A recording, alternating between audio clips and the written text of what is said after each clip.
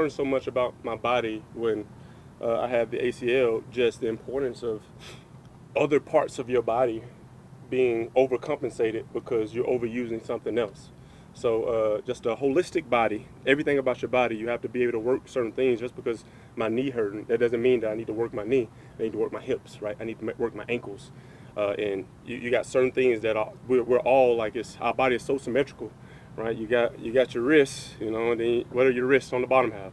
Your ankles, you know. You got your shoulders up top. What are your shoulders? Your hips, you know what I'm saying? You got your elbows. What are your elbows? Your knees, right? Like so, uh, it's symmetrical, and you just got to